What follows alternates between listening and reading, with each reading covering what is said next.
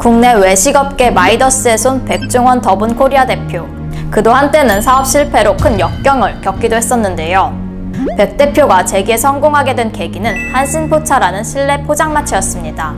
서울 논현동에 위치한 한신포차는 1998년 최초의 실내 포장마차로 문을 연 이후 1980년대 후반 아시안게임, 올림픽 등의 여파로 사라진 포장마차를 재현해내며 폭발적인 인기를 누렸는데요.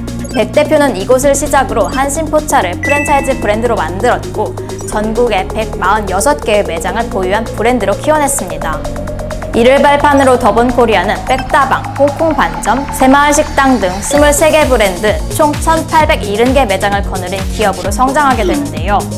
그런데 이 한신포차 1호점 건물이 매물로 등장했습니다. 백 대표와 당시 동업을 했던 현재 건물주가 해당 건물을 매각하기로 한 것인데요.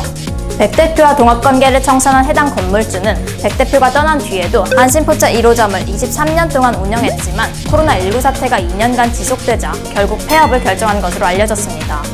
부동산 업계에 따르면 한신포차 1호점이 있는 서울 강남구 논현동 건물은 한신포차 한 개 업소만 들어서 있어 건물이 팔릴 경우 사실상 한신포차 1호점은 사라질 것으로 보입니다. 지금까지 포커스 김지식 기자였습니다.